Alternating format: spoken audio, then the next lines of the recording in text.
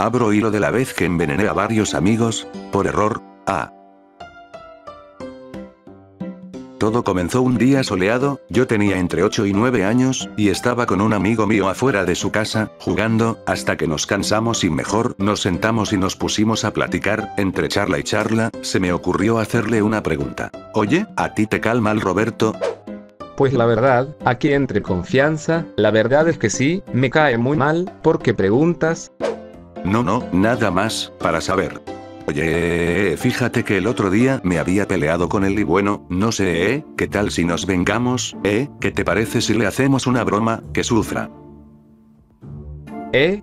¿Una broma? ¿Qué tipo de broma? Una broma muy mala, entonces ¿qué? Si me ayudas o no. ¿Eh? Sí, dale, está bien. Genial, créeme que va a ser algo muy bueno.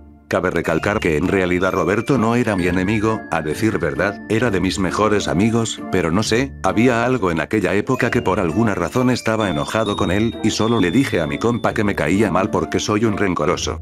Empezó a pasar el tiempo y empezamos a pensar qué bromas podríamos hacerle, pero en ninguna estábamos de acuerdo, y de tanto pensar y pensar, se me ocurrió una de las ideas más extrañas, mezclar Clorox con orina. Ah. Y después hacer que lo huela y que se asquee del hedor. Sí, sí, sí, qué maravillosa idea.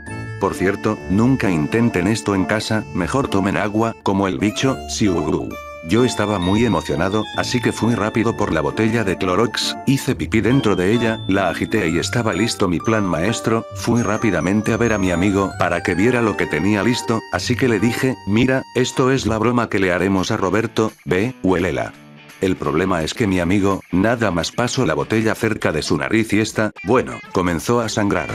No sabía qué estaba pasando, yo la había olido y a mí no me había pasado nada. Ah.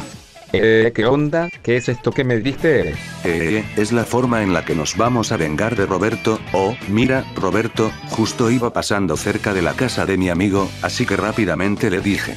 Eh, Roberto, ve. Hola, ¿qué pasó? Huele esto. ¿Para qué huele? Huélelo y sabrás.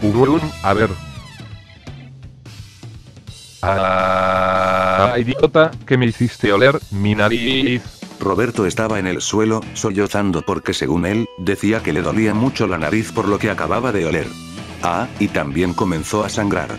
Justamente iba pasando otro amigo nuestro y preguntó. ¿Eh? ¿Qué hacen? ¿Qué les pasa a esos dos? Este idiota nos hizo oler algo y ahora nuestra nariz sangra. Ah. ¿Eh? ¿Qué cosa olieron? Esto. Por alguna razón, se le hizo una buena idea también oler lo que había en la botella. Ah, ah. Y vaya problema, porque él fue al que más le afectó, ya que salió corriendo y comenzó a vomitar, sangre, comenzó a vomitar sangre.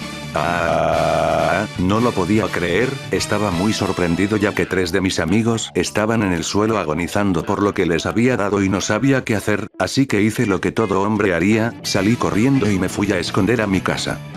Y ahí estaba en mi casa, en el sillón sin saber qué acababa de hacer, y mi mamá solamente mirándome, porque no sabía qué me estaba pasando.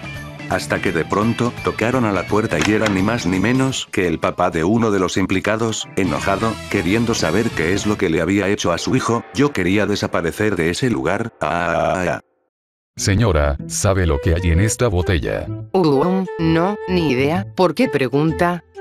Porque su hijo le dijo al mío que la oliera y comenzó a vomitar sangre. Eh, no, no, no creo. Mi hijo no tiene nada que ver con eso. ¿Cómo no? Ey, tú hiciste eso. Cuando su padre me preguntó, no tuve más remedio que decir la verdad. Sí, lo siento, fue una broma, no creí que le fuera a pasar eso a su hijo. El señor estaba muy enojado, me dio una advertencia que no lo volviera a hacer y le dijo a mi mamá que me vigilara bien, yo tenía la cara muy pálida, sin poder asimilar qué había hecho, y mi mamá también, confundida, sin saber qué es lo que pasaba. Mi mamá no me regañó, solo me dijo que tuviera más cuidado y dejara de hacer mis dejadas. Pero bueno, bien dice el dicho, la venganza es mala, mata el alma y la envenena, literalmente.